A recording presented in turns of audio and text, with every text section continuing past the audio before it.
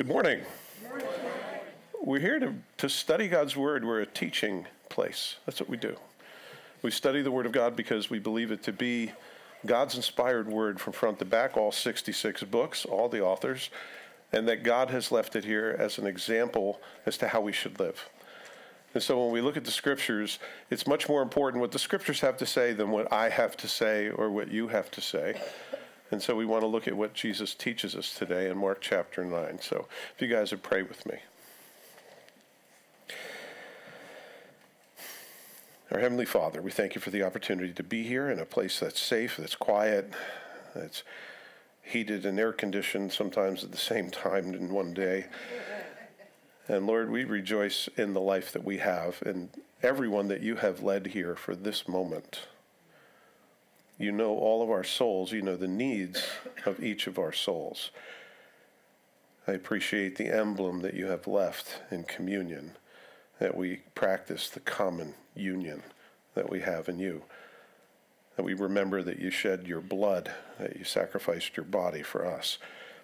I pray that we might do the same in reciprocation to you now as we offer you our hearts and our minds, that your word would find a suitable place in our lives, in our hearts, that it might bear fruit for you. So, Lord, we offer ourselves to you and pray that you would do that which is pleasing to you in us. In Jesus' name, amen. Well, we've been in the book of Mark. We're in chapter 9.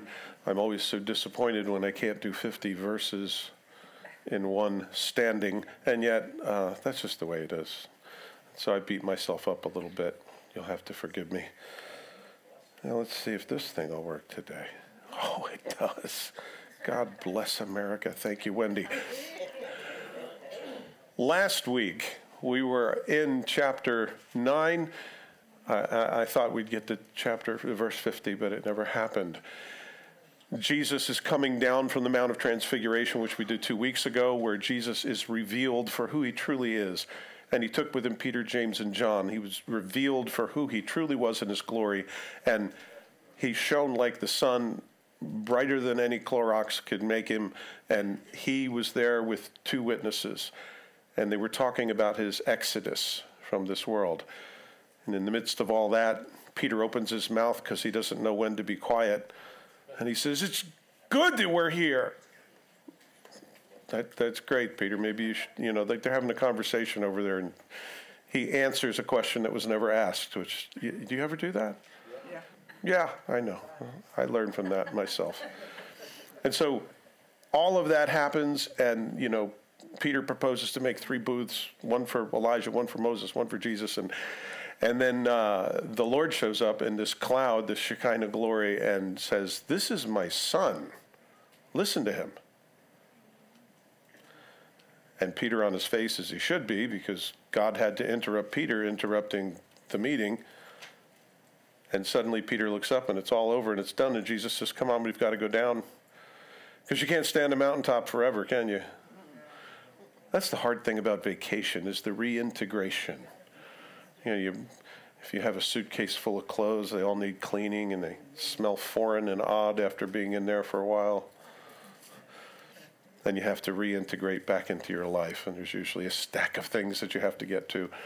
And so the disciples go down and they find utter chaos down in the bottom of the hill. The remaining nine disciples that were down there have been mobbed by people looking for Jesus and only finding his disciples. A man who comes and brings his son and says, Listen, I, I brought my son here, except your disciples couldn't heal him. He's got a spirit. He's got this evil spirit that comes upon him and throws him on the ground, and he's gnashing his teeth and he's foaming at the mouth and he writhes around on the ground. But I brought him to your disciples, but they could not help me. Boy, I hope that never happens with people coming here. They very well could, though, couldn't it? Because we are a, a, a shadow of a substitute for who Jesus really is. And people don't need us, they need Jesus. So, Jesus shows up and he asks him some questions, kind of goes into doctor mode, and he says, Well, how long has this been going on? And so he gets some information, and then he begins to see that there's a crowd forming, and he's just amazed at the lack of faith of people. And he's like, How long am I going to be with you guys? This is. And how often will I have to do miracle upon miracle before you believe I am who I am? You know, the same question could be asked of us. How often do we go through the same trials and we end up trying to dig into our own resources and failing, and then we think, wow, I never even prayed about this, did I? And then I suddenly understand why it didn't work and why it's not over and why I haven't gotten a passing grade in this test because I didn't ask the Lord. So he says, Bring him to me. And he finally brings him to Jesus. And Jesus sees the crowd forming and he says, I got I got to move quick. And he casts the demon out and he tells him, Don't come back again. I like that. Get out of him and don't come back. I love that little don't come back. That's, uh, that's something we should pray for, that something doesn't come back. And so Jesus casts him out, and we, we see a wonderful end of the story later on. The disciples ask him, What in the world was that about, and how come we couldn't do that? Well, they thought he was dead at first when it happened. He fell to the ground and he didn't move, and it looked like he wasn't breathing to the point where some people said, He's dead. But Jesus reaches down, and I love this about Jesus. Jesus is always touching people. He reaches down and he grabs the boy by the hand and he lifts him up, and he's completely fine. And that's the end of that. So later on, they get into the house in Capernaum, presumably Peter's house where he lived, kind of the center of where they would run their little missionary journeys from. And the disciples want to know why why were we not able to cast it out? Because previously they were. Jesus gave them power to speak to demons and cast them out. And he says, Well, why is it that we couldn't do it? And Jesus then asked, uh, answered them and said, Listen, it's because this one only goes out by prayer and fasting. So we talked a little bit about prayer and fasting, and prayer is connecting me more to heaven, and fasting is releasing some of the connection that the world has on me. And so by sacrificing that time and those resources and spending it with the Lord, there's something to be gained in the self-sacrifice. It's not uh, it's not a transactional thing where look God, I'm suffering, answer me already. It's not a manipulative move. It's actually an offering to God and you take that time and you offer it to him instead of eating. So we looked at that, and then Jesus again beginning to inform his disciples that he's going to Jerusalem and he's going to die. He's going to be hung on a cross, but on the third day he'll be raised again. And the disciples all look at each other and say, What's he talking about?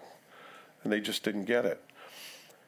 I, I do the same thing. I'll read through the scriptures, and uh, there's a little section that I just kind of go over like a speed bump. You go over way too fast, and you don't realize what it's saying until you read it and you go, oh, wow. I never saw that. So sometimes that happens with me too, but they get the deal. And then Jesus comes to Capernaum here in verse 33. And when he was in the house, he, he asked them, what, what was this that you disputed with yourselves on the road as we were walking? But they kept silent, for on the road they had disputed among themselves who would be the greatest. You ever, you ever do that? Get into a competitive thing? Who's the greatest? You are all silent like the grave. Look at you. Who do you, who do you think would win in a fight? My kids would ask me, a lion or a bear? Well, they don't live in the same place, so it's never going to happen. Yeah, but what if? We always want to know, right? And we do that with one another. We tend to get competitive with one another, right? Um, God help us if, if you still have that going on, but it does tend to rise itself up, you know. Um, so they're arguing on the road, and I wonder because Peter, James, and John were up on the mountain with Jesus, and the other disciples are like, "Hey, what happened up there?" I can't tell you. What do you mean you can't tell me? Well, Jesus told me not to say. What? You're going to keep a secret like that from me? Well, Jesus said. And now they have a it seems like they're using that bit of an experience with Jesus as to elevate themselves against the others. I would assume that goes on. I had two brothers, so I guess I'm projecting a bunch of things that happened with brothers. But they were all somewhat related and traveling together, and so I, I don't think it's too far fetched to think that that may have been the seeds of what caused this giant competition. So Jesus reveals himself up on the mountain, his greatness, and then Jesus, he gives instruction to them and begins to tell them. But in a minute, he's going to give an illustration. I love the way that Jesus teaches. He doesn't just say stuff and say, there it is. He says, I am the light of the world, and he finds a blind man and heals him. Amen. He says, You who have ears to hear, hear what I'm saying. He finds a deaf man and heals him. He tells people, Come and follow me. And then he finds somebody who's crippled and heals them. You see, all of those things are to prove that Jesus' words aren't just words, they're life, they're reality. And so he's going to give an illustration in just a moment. Now, this is not the last time that Jesus has to address this worldly mindset of the disciples, and he kind of catches them with their hand in the cookie jar, and so they don't want to answer. But here in Matthew 20, there's another time Jesus has to address their competitiveness and it says, Then the mother of the Zebedees, that's James and John, by the way, the sons came to him with her sons. Now, by the way, these are adults. So, you know, with her sons, kneeling down and asking something from him. So here comes Mother Zebedee and grabs James and grabs John and they drags him to Jesus and they get on their knees in front of him. This is a performance of a lifetime. There, there's an Emmy in this, I'm sure. And she said to him, Grant that these two sons of mine may sit one at your right hand and the other at your left in your kingdom. But Jesus answered and said, You do not know what you ask. Are you able to drink of the cup that I'm about to drink and be baptized with the baptism that I am baptized with? And they, they said to him, We are able, not knowing what it was Jesus was talking about. He's talking about the crucifixion. And so when the ten heard it, they were greatly displeased with their other two brothers. You got your mom to petition Jesus for a position in the kingdom on the right and the left of him? Oh man, that's that's really that's that's some serious manipulation, right? And I don't know if it was mom's idea, if she's like one of those helicoptering moms who's just like over controlling, or whether it was James and John who said, ah, don't listen to her. Let's bring her. And let's let's figure out the script. Let's all go and let's kneel down. Okay. And then we'll let her speak and we won't say anything, right? And then like did they plan this whole thing? They're going to go up and they're going to try to muscle Jesus into getting a position in the kingdom. Jesus had to address this once before, but not just with James and John. so that's like strike two. Strike three comes here in the book of Luke, and this was during the time just before Jesus goes to be crucified. He says, Now there was also a dispute among them as to which of them should be considered the greatest. And he said to them, The kings of the Gentiles exercise lordship over them, and those who exercise authority over them are called benefactors because they get some kind of benefit from them. But not so among you. On the contrary, he who is greatest among you, let him be the, as the younger, and he who governs as he who serves. For who is greater, he who sits at the table or he who serves? Is it not he who sits at the table? Yet I am among you as one who serves. Jesus always trying to tell them it's not about trying to achieve greatness, to be thought of as a top dog, as, ah, Carl is mean sometimes. Carl tells me, oh, listen to the story. Carl, he says, you know we're going to do, Pastor Dave? We're going to get you a parking spot right in the front. And so nobody else will park there, but you'll get a big sign, Pastor's parking. oh, no, you're not. I tell him, no, you're not. I'm going to park far away. I don't want anybody to know where I'm parking. Well, it must be the, the pastor's car. Because my Mercedes is a real. No, it's not. He's always trying to put me in a place where I'm going to, you know, be elevated. And I keep telling him, you know, forget about that. Let's work on something else.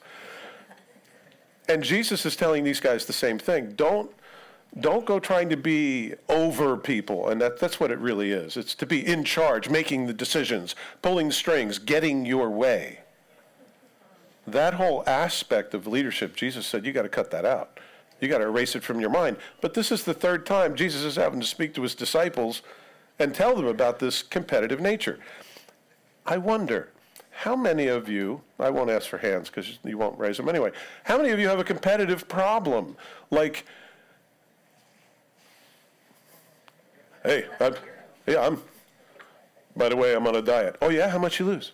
Well, six pounds. I lost nine. Right? I mean, you feel that? It's like a, like a whole swagger thing. And Jesus is trying to correct them. Don't think like this world. These people who are benefactors, these people who are in positions of authority, they rule over. I mean, with an iron fist, they enjoy that aspect of leadership. But you should be like you're the youngest in the family, which means you, you, have no say in anything. They just drag you around from place to place, and that's just the way it is. You know, older brothers and older sisters, they get to do whatever, and, you know, you got to go to bed when mom and dad say so, and they get to stay up later. So Jesus says you need to be as the younger, which is, okay, okay, I'll go here, I'll go there, I'll do whatever. And you also need to be like the least, like the one who serves. And he goes, for example, we're all sitting around a table.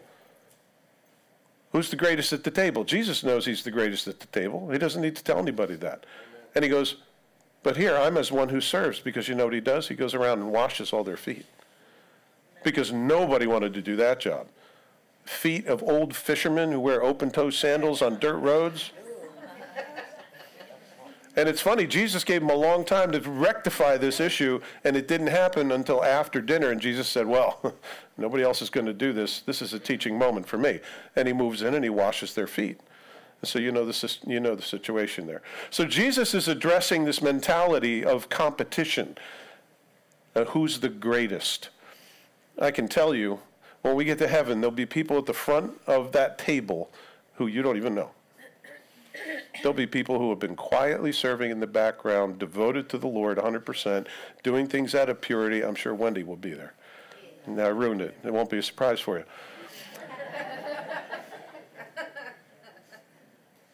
we got to get over this greatness thing.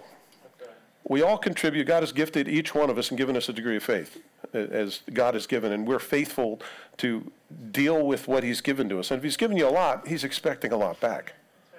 He's only giving you a little. Don't worry about it. it. He grades on a curve. He does. I mean, if you if you have a simple if you have a simple gift, if you have a simple offering, then by all means do that. Maybe you can't sing. Maybe you can't lead worship. Maybe you can't teach. But I'll tell you what, I saw people show love at that front door, handing out bulletins and getting to know people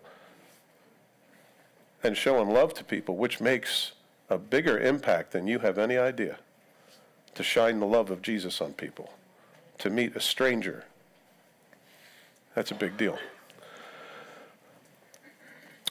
So, Jesus, having this problem with their authority, is, and he sat down and he called the twelve and he said to them, If anyone desires to be first, he shall be last of all and servant of all. So, here are nine expressions of greatness that Jesus is going to go over. He's going to tell you, now, this isn't your best life now. This isn't anything that you'll find on the shelves. This is from the Bible, and this is taught by Jesus. You want to be great, do these nine things. Make sense? You with me? All right, because I'm getting very teachy right now. Number one, you need to be last in order if you want to be first. So, when everything's over here and it's time to eat, you know, when everyone runs for the door, like, out of my way. And, you know, they're barging through and where are the plates? And they grab the plate and they're the first one in line. And you would never do that. By the way, there are people who get there before you because they sneak out like they're going to the bathroom and they go out there and they're you see him sitting down when you go in there. You're like, you dirty dog. I was going to get that. I hope, I hope to have some left. By the way, there's a giant thing of soup today, so, you know, in case you're interested. At least that's what I think it is. You want to be the greatest? You be the last person in line. Why? Because Jesus said so. Because that's what Jesus did. He put himself last. He should have been first. He's the King of Kings and the Lord of Lords. He should be first in our life. But you know what? He takes second place sometimes. He takes third place. Sometimes he's all the way on the bottom, and he hasn't thrown a lightning bolt through your skull yet. Amen? Amen? Sorry if you've been struck by lightning. I don't mean to offend you. So Jesus said, if you're last in order, you will be first as far as God's concerned. You'll be number one in his book. And you know what? That's more important to me. Number two, expression of greatness is serving. The lowest in rank to serve. Did you know that when you went to somebody's house, they typically would have the lowest servant at the front door? They would make you sit down, they'd take your shoes off, put it in a place, wash your feet, and then you'd be able to go into the house and you'd go in barefoot so you don't drag all that smelly, stinky stuff into the house, and you got nice, clean feet. It was the lowest job of the lowest servant in the house. It's like, oh, I got to take the garbage out. You know, it was the lowest job. I mean, garbage out is nothing. Washing stinky, smelly feet of some men, that's, you got to have some humility right there. So they do that. Jesus said, You need to be the servant of all. And he does this at the Last Supper. And he leads by example. In John chapter 13, we see him washing the feet of the disciples as he goes. And so this isn't something where Jesus just says, Guys, you should do this. It's a good idea. But he doesn't do it. He does it, he demonstrates it. Not only does he teach something, but he shows something. I don't know about you, but I like show and tell. How about you? a little show and tell. I remember when I was a kid, and you could bring in like your favorite thing, and you go, "This is my favorite thing." Teacher say, "Okay, thank you. Next." You know, show and tell was always good because you could share what it is that's part of your life with everybody else. And Jesus doesn't just tell us what to do; He shows us what to do. And when He stretched out His arms on the cross and He died, and He says, "Father, forgive them; they don't know what they're doing." He shows us how we should live. And he could have called down 10,000 angels and just wiped everybody out.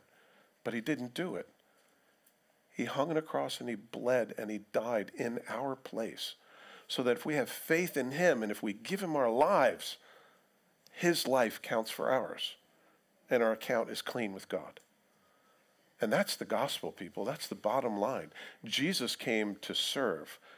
He was the sacrificial Lamb of God the one who takes away the sins of the world.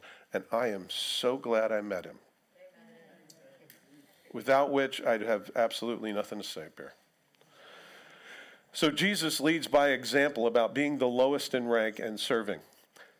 And then he took a little child, not like you find on Amber Alerts, by the way.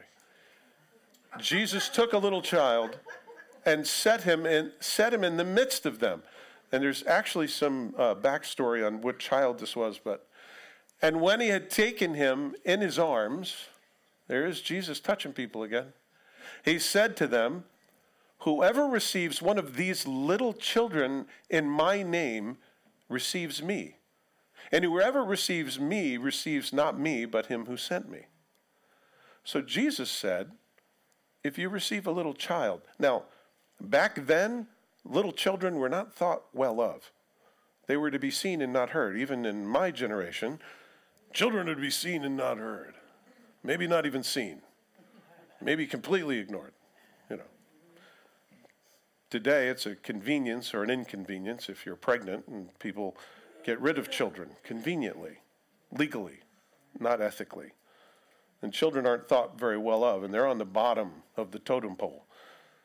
And Jesus said, You need to find the least, you need to find the less. And I think that's a good example for us. So he illuminates by giving an illustration, illumination by illustration. He loves children and he has no problem touching people, hugging people, wrapping his arms around people. So, all you non huggy people, there's hope for you. There's hope for you. I was going to say get over it, but that's cruel. I don't want to be cruel, any crueler than I am. Number three, if you want to be great, you look out for the least. You know, normally when people come in here on a Sunday, they look for their friends. Oh, my friend. Oh, oh, so and so's here. Oh, oh. And they run to all their favorite people, all their friends. You find that to be the truth? You walk in the door, like you're looking for some, and then maybe there's some people you, you don't want to see. oh, here comes Pastor Dave. He's going to try to hug me again. I know. It yeah, so there might be some people that, but Jesus looked out for the least. He's like, who can I minister to? Who can I give to? I look in this room and I try to find people that are sad, crying, lonely, alone. I look for those people and I target you. Did you know that? My favorite target's right here. Because it's convenient, it's on my way up here. And I love that. And sometimes I can't even get to you because there's people all around you, but you're just all alone. Because I think that's what Jesus would have us do. Look for the least. Look for the one ignored, like a child. Look for the one that you can minister to instead of the one that you enjoy talking over the, the football game, basketball game, hockey game, whatever is going on. Looking to the most needy, the lost, the weak, the troubled, the directionless, and the questioning. I believe that's what Jesus is teaching here. Look for those people and discerning by the Spirit of God what their need is and meet it. If you come in here with arms full of blessings, like it's Christmas, and you come in here looking to bless other people and give it away, that's what I think Jesus is talking about. You find those people Imagine if we all did that. It'd be sickening in here. It'd be so sickeningly sweet with the love of God. People would be bursting into tears, falling on our knees, and say, God is among you, and I did not know it. Because it's the love of Jesus that He gives to us that we can give away. And we've been given so much.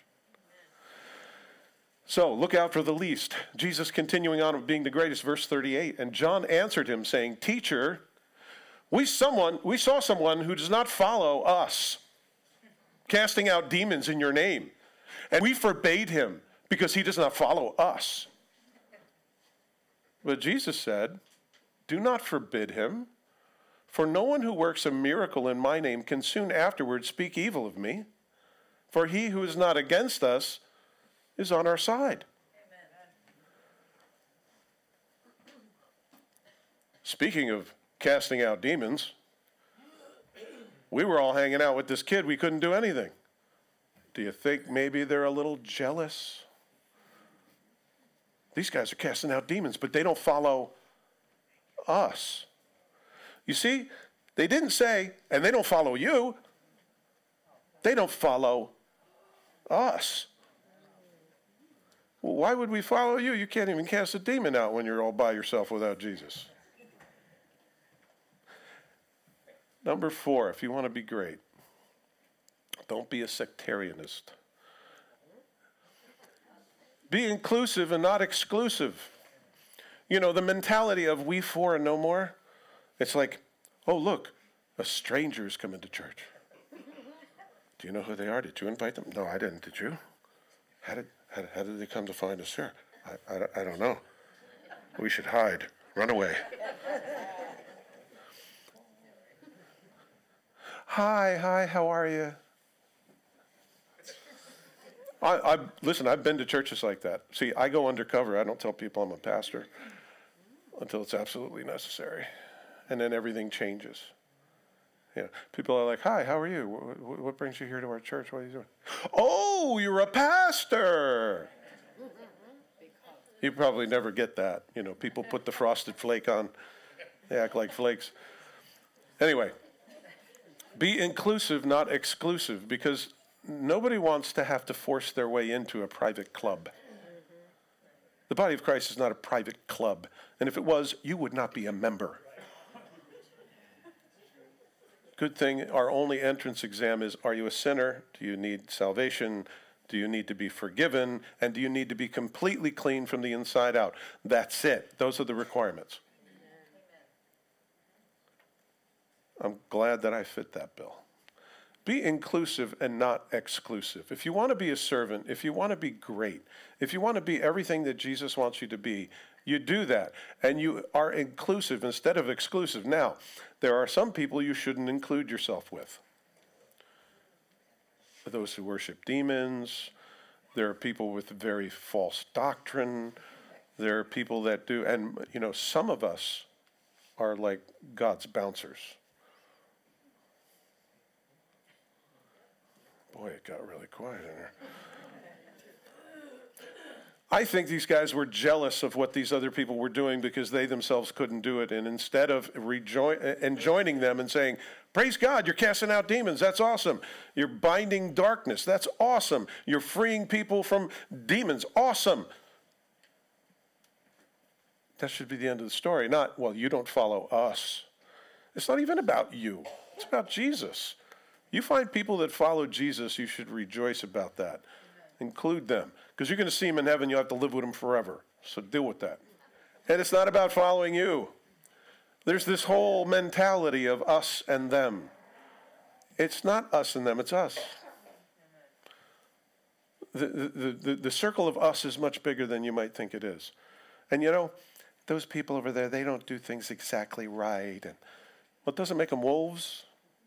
Make some sheep that limp, or sheep that are dirty, or sheep that are wayward, or sheep that are. But the sheep, if Jesus is the main ingredient, they better have accepted Jesus as their Savior, or they don't follow Him. But it has nothing to do with following us.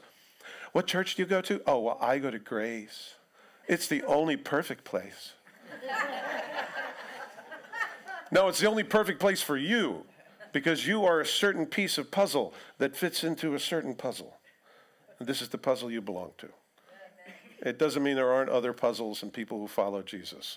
So if you want to be great, be inclusive, not exclusive. In Luke 9:51, we get to see the spirit that rises up too. It says, Now it came to pass, and the time had come for him to be received up, that he steadfastly set his face to go to Jerusalem, speaking of Jesus. And he sent messengers before him, and they went and they entered a village of the Samaritans. Now, those are the outsider people, to prepare for him. But they did not receive him because his face was set for a journey to Jerusalem. It's interesting. They didn't receive him because it's not necessarily where Jesus was supposed to be. And when the disciples, James and John, saw this, they said, Lord, do you want us to command fire to come down from heaven and consume them, just as Elijah did? Let me at him, let me at him. But he turned and rebuked them and said, You do not know what manner of spirit you are of. There's a smackdown. For the Son of Man did not come to destroy men's lives, but to save them. And they went to another village. If you try and you don't get an answer, somebody reviles you and rejects you, pray a blessing on them and move on. Next thing. You don't have to go chasing around people that want nothing to do with Jesus. Just move on. It's okay. The Lord's got other things for you to do. Don't waste your energy because only the Lord can change a human being's heart. Amen? I'm not saying don't try and try and try, and you do it in love. But if they don't listen, don't call down fire from heaven and think God's going to consume them because you want Him to. You've got an overly developed sense of justice. Let the Lord handle that. Verse 41 For whatever whoever gives you a cup of water to drink in my name because you belong to Christ, assuredly I say to you, he will by no means lose his reward. But whoever causes one of these little ones who believe in me to stumble, it would be better for him to have a millstone hung around his neck than he were thrown in the sea. Now, Jesus is saying this on the tail end of them saying, We saw some people casting out demons because they don't follow us. We told them to shut it down. If you stumble one of these little ones of mine, it'll be better for you to have a millstone tied around your neck and drown in the sea. Maybe I did this. Maybe I deserve a millstone. That's all in the context, by the way. Which number five, if you want to be great, you serve small. You know, I, I know there are all sorts of books that say you should dream big. Dream a big dream. Trust God for big things. And I'm not saying don't do that. But Jesus said, even the smallest thing, like giving somebody a cup of water, will not go without a reward. So, what does that say to me? Jesus appreciates the little things. And it's funny, all of those little things mean something. They all make an impact. If you're doing it for the right reason and the Lord is with it, God will use just giving somebody a glass of water. What a blessing that is. Finding somebody who's downtrodden, somebody who's depressed, somebody who's in a bind, and you say, Hey, what's going on? What's, what's wrong? And they say, Oh, well, I got this thing on my heart. And you say, You know what? I'm going to pray for you. That just seems like such a small thing. But you have no idea what God's going to do with that. You know what I'm talking about, don't you? Small things. Think small. Whoever gives one of these little ones even a cup of cold water because he is my disciple, truly I say to you, he will by no means lose his reward. That's in Matthew, that's the parallel passage. Notice he talks about one of these little ones. He's still got the boy in his arms and saying, If you give a, a glass of water to one of these little ones of mine, you'll be blessed. And I, God sees it. He sees all the little things.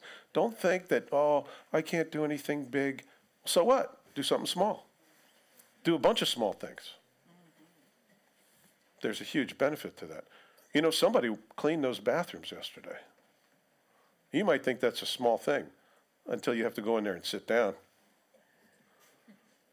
Somebody mopped the fellowship hall yesterday. It smells lovely. You might think that's a small thing, but it's one more thing I didn't have to do. Number six, if you want to be great, be sensitive to not stumble people. Be sensitive to not stumble people. If you want to be great, you don't just go living your life out there and say, I don't care what anybody thinks. And you, what church you go to? Oh, that one. Huh. Let me tell you three things you need to, do, to know that you're doing wrong. They'll say, What an arrogant person you are. What church do you go to? Don't tell them. Don't tell them you come here. You're sensitive to not stumble people. I, I don't I don't wear revealing clothing because ain't nobody wants to look at that. but I don't want to mess anybody up, right? And summer's coming. I better not see Rocco in a miniskirt. That will just make me crazy. You want to be sensitive not to stumble people. You want to be sensitive that your actions affect the people around you. You want to know that you have an impact on, on the people that surround you. And they may give much more weight to your actions and words than you even know. If you want to be great, you're going to be sensitive not to stumble. And Jesus said, if you stumble one of these little ones, it's better for you to have a millstone tied around your neck and drown in the ocean, which I don't know about you, but that's like the makings of a bad nightmare right? Drowning. That's one of the ways I'd rather not go. Burning is another one. Falling from a great height. I have a whole list. Verse 43. Jesus still continuing about what greatness is and if you want to be great, what you do. He says, If your hand causes you to sin, cut it off. It is better for you to enter into life maimed rather than having two hands go to hell in the fire that shall never be quenched, where the worm does not die and the fire is not quenched. And if your foot causes you to sin, cut it off. It's better for you to enter into life maimed, lame, rather than having two feet and be cast into hell, into the fire that shall never be quenched, where the worm does not die and the fire is not quenched. And if your eye causes you to sin, pluck it out. It is better for you to enter the kingdom of God with one eye rather than having two eyes and be cast into hellfire, where the worm does not die and the fire is not quenched. And people say there's the Bible doesn't talk about hell at all. Here's three in just one slide. Jesus says if your hand causes you to sin, Do you think he's talking about a literal hand? No, because you got another one on this side, right? So if I cut this one off, I still have this one available. If that one's gone, I'll figure out how to do something wrong with my feet. If that happens, I'll cut them off, and then my eye, I'll pluck that out, and then the other one. And if it's my ear, if it's something I'm listening to, I shouldn't listen to, I got to hack those off. I mean, how are you going to get around? the problem is in the human heart. So Jesus isn't talking about physically doing this. Actually, uh, Deuteronomy 18 explicitly says not to amputate certain parts of your body. But anyway, um, so it's completely against the Old Testament. And if you if you have had an amputation, you can't go into the temple before the presence of God because you're not as you should be. Anyway, I digress. If there's something in your life that's causing you to stumble, sin, get rid of it. Cut it off. If it's your computer, unplug it. Get rid of it. You can't do that with your wife. You can't do that with your husband. You can't do that with me. But there are things that cause us to stumble. There, I, I had so many records, and they were worth thousands of dollars. I snapped them all and got rid of them. When I realized this principle, there are things in my life that will bring back memories of parties and people and things that I did that I shouldn't be involved in. I can't be around that stuff because that's what it does for me. You guys do whatever you want. But for me, it was music. Music had a huge hold on me. I knew how to play all sorts of things, and but when I would go back there, the words and just the, the music would bring me back to those places. Times when I was doing things I shouldn't have been doing and I had to get rid of those things. And I'm so glad that I did. I wouldn't listen to any secular music for years. Nothing on the radio. I wouldn't even listen to classical music. That's secular stuff. I wouldn't listen to jazz music. I wouldn't listen to anything unless it was Christian music, unless it was directed towards God and it was given praise and honor to Him. I've modified somewhat. I listen to jazz, and I, and I do listen to classical music. But there are things that I just won't listen to because they have too much of a stranglehold on my heart. I need to gouge it out of my life. I need to cut it off of my life. And even if it's something so dear as an appendage, Jesus is using a metaphor here. Now, not everybody saw it as that. If you want to be great, what you do is you do a radical removal. If you want to be great, Jesus is still talking about what it is to be great. You are about radical reformation. There are things in your life that you're constantly pruning off. The Lord tells us that He will do that for us if we submit those things to Him. And He will prune those branches so that we can bear more fruit. And that's the opportunity, right? A radical removal. Origen, who was one of the early church fathers in the first century, uh, Adamantius was his name, his last name. He's uh, known as Origen of Alexandria. Uh, by the time he was 18 years old, he was actually a uh, teacher of a college. He was actually the head of that college. Um, studied uh, Plato, and he's one of the Platonics. Anyway, good dude. He read this passage, and because he had a problem, he emasculated himself. Emasculation is when a man is castrated. Oh, okay. Well, it sounded like you had a question.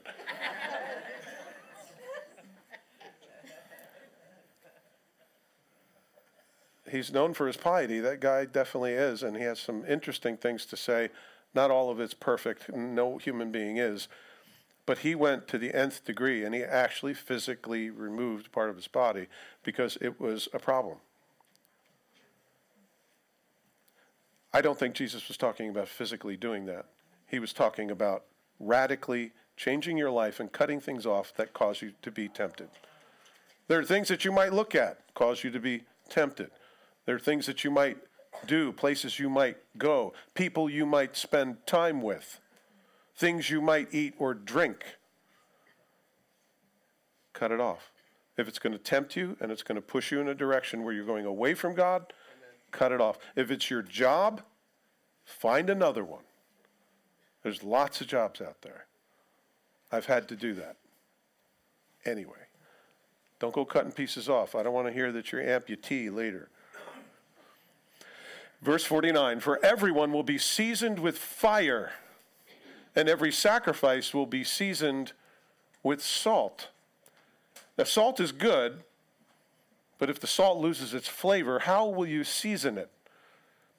Have salt in yourselves and have peace with one another. This is one of the more hotly debated passages in the scripture. So I'm going to try to make it real simple because I'm a simple kind of guy. Number seven, if you want to be great, be seasoned. What's that mean? That means that you're having things added to you, like a steak. If you have a steak, I know you're getting hungry now.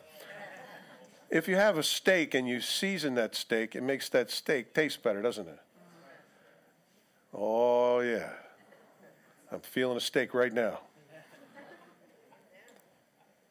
Jesus said, For everyone will be seasoned with fire. I don't know about you, but the difference between a burger done in a frying pan and a burger on an open flame. Okay, now you're getting it. In Leviticus in chapter 1, it talks about a whole burnt offering, and the whole burnt offering actually is a burnt offering with salt on it. Strangely enough, so it has an Old Testament root, and Jesus is talking about being sacrificed. Everyone will be seasoned with fire. As a believer, you know, we as believers are constantly being tried from the outside, and we will be seasoned. And as to whether we're going to start cutting things off and getting rid of them or not, like he said in the previous passage, is going to be a challenge. But every one of those sacrifices that we make will be seasoned with salt. In other words, God's blessing will be upon it. You understand how that works in the context? And every sacrifice will be seasoned with salt. In 1 Corinthians chapter 3 verses 12 to 15, Paul writing to the Corinthian church says this, "Now if anyone builds on this foundation, he's talking about the foundation of Jesus Christ, with gold, silver, precious stones, wood, hay, or straw, each one's work will become clear, for the day will declare it, because it will be revealed by fire." And the fire will test each one's work of what sort it is. If anyone's work which he has built on it endures, he will receive a reward. And if anyone's work is burned, he will suffer loss. But he himself will be saved, yet as through fire. You see, we as believers are going to be tested with fire as well, as to whether the things that we've done in this life are going to be praise and honor to Jesus Christ for eternity, or it's just a bunch of junk. It's kind of the biblical equivalent to the three little pigs. You know the three little pigs. One built his house out of straw. One built. You know, you know the story, right? Yes. Good. I, I, I hate to wake you up, but here, three little pigs. Two of them built insufficiently. One of them was safe, and he didn't get eaten by the wolf. Strive to put things into your life that are going to build a house that brings honor and glory to God forever instead of wasting your life and it's just going to get burned up. Television watching. Well, that's probably way, you know, hay, wood, and stubble. Um, hours on the internet. You guys don't have phones, I guess. There are lots of things that are just waste. Lots of things that we talk about that are just waste. Lots of things that we do that aren't designed to bring praise and honor to God. It's more designed for our comfort and pleasure. We can invest our lives instead of squandering our lives. So I want to be like that last pig that builds a house on the rock. And so every sacrifice will be seasoned with fire, it will be tested, and it will have salt in it. So if you want to be great, you make sure you're a seasoned person, which means you add to your life things. Number nine, you're going to be sacrificial. Jesus says here that you have peace with yourselves. You have salt in yourselves. He's talking about being a sacrifice, being a living sacrifice, as it says in Romans chapter 12. He says, I beseech you, therefore, brethren, by the mercies of God, that you present your bodies a living sacrifice, holy and acceptable to God, which is your reasonable service of worship. And do not be conformed any longer to the pattern of this world, but be transformed by the renewing of your mind, that you may prove what is the good, pleasing, and perfect will of God. So we're told to be living sacrifices. You know, if, if I had to make a one time sacrifice, that's pretty easy. But to be a living sacrifice means you're constantly sacrificing. You're constantly giving up. And of course, the temptation is to roll off the altar, right, and say, I've had enough of this. And yet, we're called to be a living sacrifice because Jesus gave himself for us. And so, if you want to be great, sacrifice is on the menu all the time. It's about you sacrificing what you want over what God would have you do, and sometimes over what other people want you to do.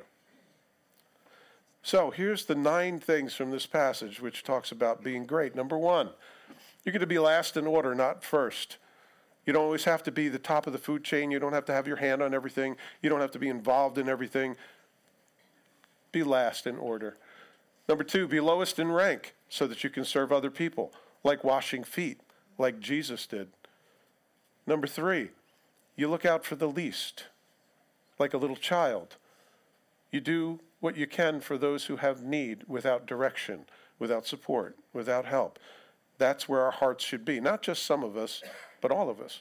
Number four, be inclusive, not exclusive. Here's a way I meet people and I say, Hey, are you a spiritual person? Well, yeah. Well, do you go to church? No. Oh, okay. Well, can I suggest one?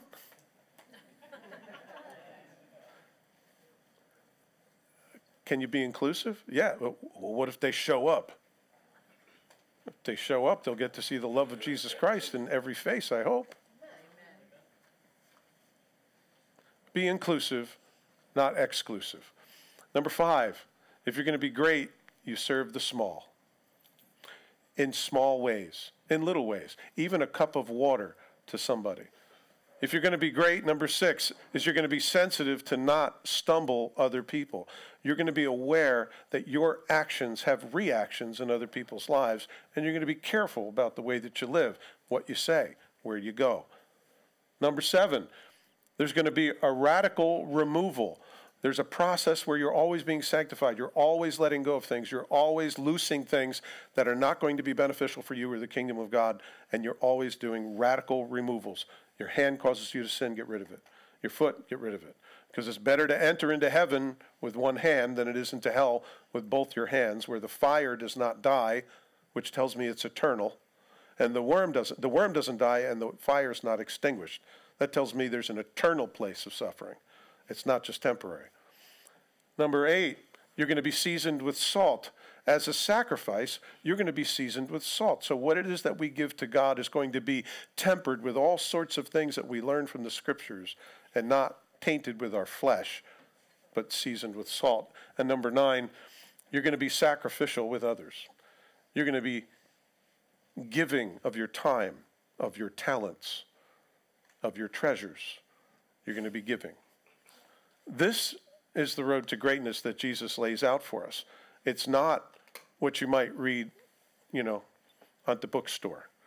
But it's something that we should live. And Jesus was the perfect example of this, who came from heaven and didn't think equality with God was something to be held on to, but he emptied himself and he came down being found in the form of a man and he emptied himself unto death, even on the cross. And he did that for us. And it says that we are to have this mind in us, like Christ Jesus. He didn't hold on to those things. He may have had a right to it, but he didn't. Paul the Apostle does the same thing. He had a right to a bunch of things, like getting a paycheck and not having to work and maybe getting married, and he let all that go because I, am better serving the Lord without those things. And they were privileges he could have had. Our willingness to lay down those things for other people is going to show whether we're on the track of greatness or selfishness.